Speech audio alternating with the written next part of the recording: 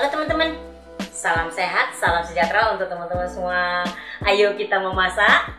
Lanjut. Nah teman-teman hari ini saya memperkenalkan produk dari segitiga emas ya, yang ada beras, minyak, minyak ini ada yang 2 liter dan 1 liter, garam ada yang 250 gram dan 500 gram, cuka ada yang botol besar dan botol kecil ya, gula pasir ada yang 1 kilo dan 500 gram, uh, gula halus tetap ya 250 gram, uh, ada lada bubuk.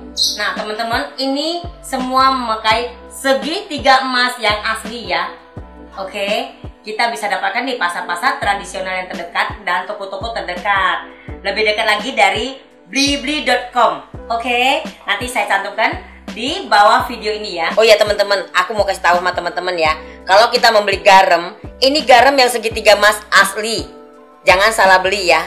Ini udah puluhan tahun, dan sudah terpercaya. Oke ya teman-teman ya, ini oke banget, sudah ada SNI-nya, bersertifikat halal juga ya. Teman-teman hari ini yuk kita bikin uh, lauk atau sayur ya. Uh, kita mau bikin dibungkus dan kita panggang. Kita siapkan daun secukupnya. Di sini ada daun singkong, udah saya petik dua ikat ya, saya beli dua ikat. Uh, ini ikan teri 100 gram, kalau pete di sini ada 5 papan, tergantung teman-teman memakan berapa banyak. Tahu di sini ada 10 potong. Dan di sini ada bumbunya yang mau kita haluskan ya. Terdiri dari kemiri 4 biji, e, bawang putih 2 siung, bawang merah 3 biji besar-besar dan ini kunyit satu ruas jari secukupnya ya. Kalau ini dikit dua ruas jari eh, lengkuas, ini jahe dua dua ruas jari juga. Kencur yang agak gede ya ini ya. Satu ruas jari. Uh, cabenya campur saya sini pakai cabai campurnya ada 150 gram. Dan ini ada terasi ya tiga potong ya. Cabai memang mahal tapi ini ide untuk usaha oke? Okay? ini yang mau kita haluskan. Kalau daun salam dan daun jeruk nggak dihaluskan ya. Ini air sudah mendidih kita mau rebus daun singkong saya di sini tambahkan. Ini ada air kapur siri ya. Saya pakai yang beningnya ya. Ini yang beningnya seperti air kita ambil. Saya pakai 2 sendok makan. Kalau nggak punya punya air ki juga boleh. Uh, pakai air garam saja juga boleh. Ini saya tambahkan garam. Satu sendok teh penuh Oke, lanjut kita masukkan daun singkongnya.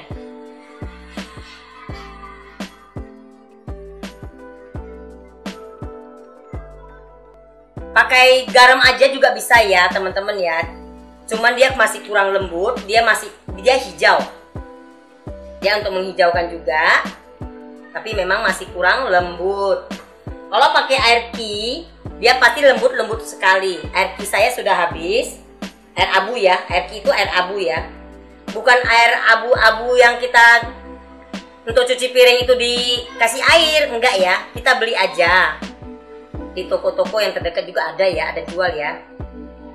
Di pasar. Ini biasa kalau udah kita rebus kan jadi sedikit. Tapi hari ini kita mau makan daun singkong. Mantap sekali ini kita rebus. Kita nanti lihat sebentar aja ya. Kita lihat dulu ya. Ini rebus selama 10 menit. Nanti kita lihat dia udah lembut atau belum. Oke? Okay? nah ini kita rebus nggak sampai 10 menit ya. Sudah lembut. Kita taruh dia lembut dari sini aja nah. Oke, jangan terlalu lembut ya. Nanti kok terlalu lembut hancur semua. Ini kita angkat kita cuci bersih. Nah ini udah saya cuci bersih. Udah saya peres dan saya potong-potong ya biar agak pendek-pendek gitu ceritanya ya. Oke. Kita di sini panasin dulu pannya. Di sini saya tuangkan minyak secukupnya. Karena saya mau goreng ini ya ikan terinya dulu ya. Mau saya goreng dulu. Sudah dicuci bersih. Kalau bumbunya nggak saya cuci, nggak nggak nggak saya gongseng ikannya aja ini sekarang sudah ya. Kita goreng setengah matang aja biar nggak bau gitu ya. Oke kita matiin api.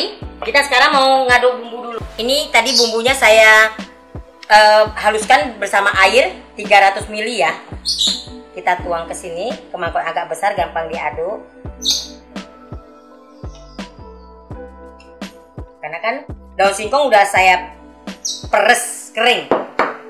Jadi di sini saya mau tambahkan garam. Garam satu sendok teh penuh. Gula pasir satu dua sendok teh ya. Kalau merica bubuk di sini tinggal setengah bungkus. Kita pakai setengah aja karena udah ada cabenya. Kita aduk rata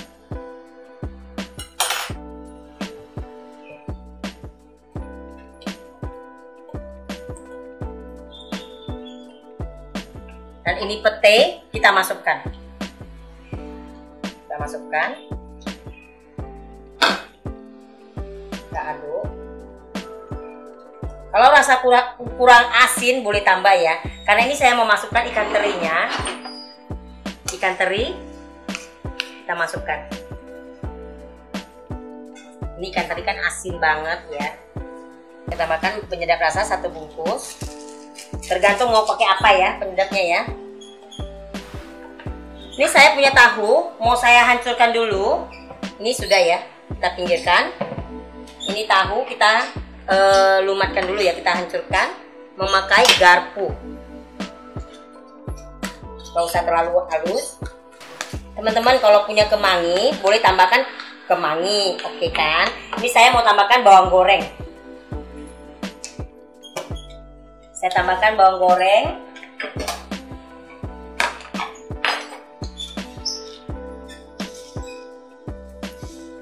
Tiga sendok teh penuh ya.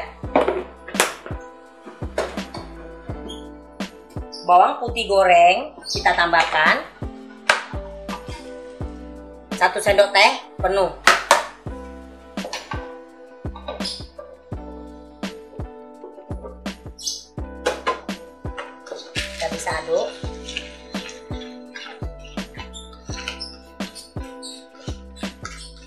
ini tahu udah ada rasa ya? Rasa asin-asin gitu ya udah ada rasa. Kita mau tambahkan telur. Satu biji. Ini telur agak besar ya satu biji. Kalau telur yang kecil boleh dua ya. Ini lebih kurang 100 gram telurnya tadi.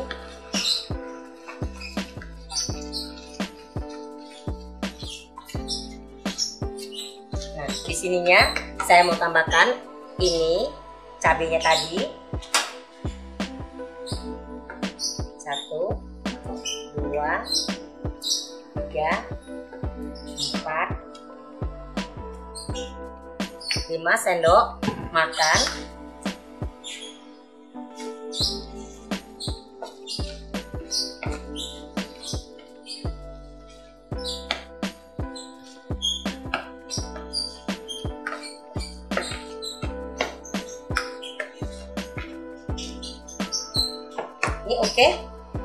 mau aduk ini ya daun singkongnya. Kita mau campur dengan cabenya tadi. Kita masukkan. Kalau teman-teman merasa kurang asin atau bagaimana boleh ditambahkan lagi ya garam atau apa ya. Tapi di sini saya rasa ikan teri sudah asin banget. Jadi tadi udah, udah cukup lah ya untuk taruh di daun singkongnya. Ini kita kita ini kan biar rata ya. Nah ini udah selesai dibuka semua begini. Langsung kita aduk ya langsung kita aduk kita campurkan sama bumbu tadi. Kalau rasa kurang manis atau bagaimana bisa tambahkan gula sedikit lagi. Biar lebih enak lebih mantap rasanya.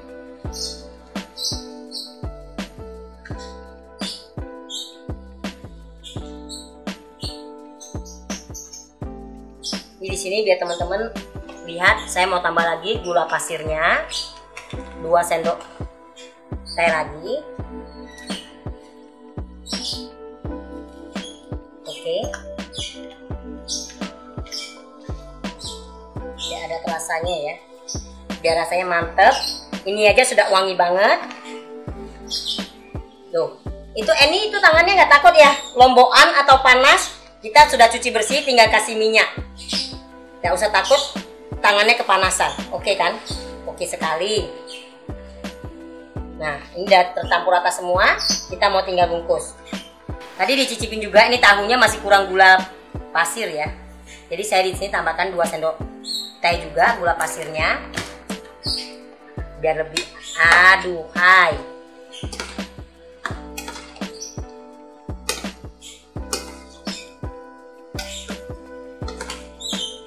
Udah diaduk rata. Sekarang kita mau bungkus. Ini saya mau bungkus ya. Mau bungkus kita ambil daun singkongnya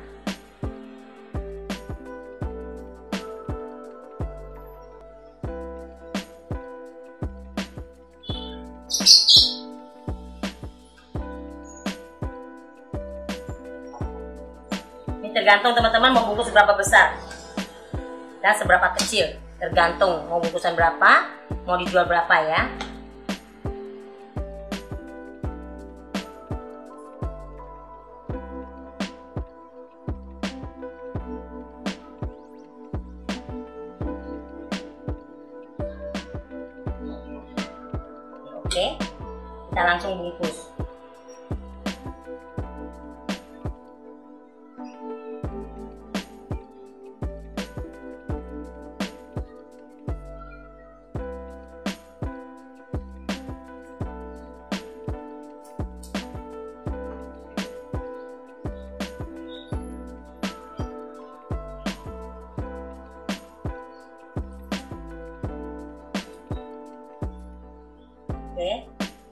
Kita bungkus begini aja teman-teman. Oke ya. Nah, ini kita taruh sini. Langsung kita bungkus semua sampai selesai seperti ini ya. Nah, teman-teman, ini saya bungkus dapat 11 bungkus. Kalau teman-teman bisa bungkus lebih kecil lagi, lebih bagus kita bisa jual satu bungkusnya goceng. Ini dapat 11 bungkus. Jadi kalau bungkusan besar ini kita jual 10.000 satu bungkusnya ya. Oke banget. Ini kita kukus selama 30 menit. Nah, teman-teman sudah 30 menit kita angkat. Ini sudah matang. Oke, kita angkat ya. Nah, ini langsung kita buka satu ya.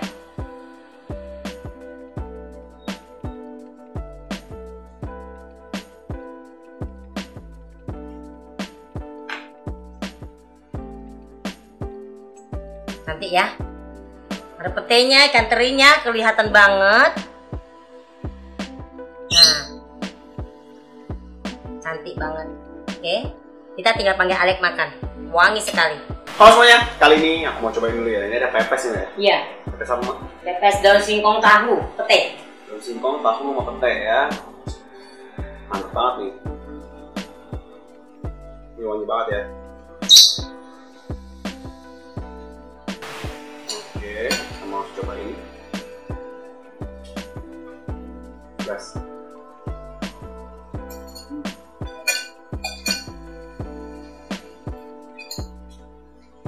Ini bumbunya rasa banget ya. Enak banget nih. Asinnya ada, guminya ada, wangi.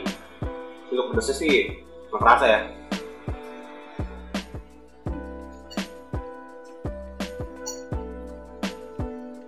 Manis banget nih. Daun singkongnya lembek banget nih, enak banget.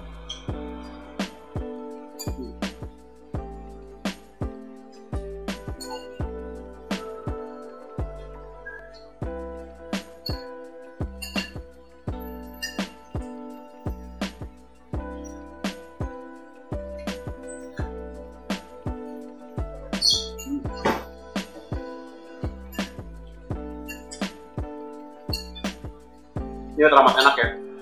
Ya buat teman-teman langsung aja cobain, oke?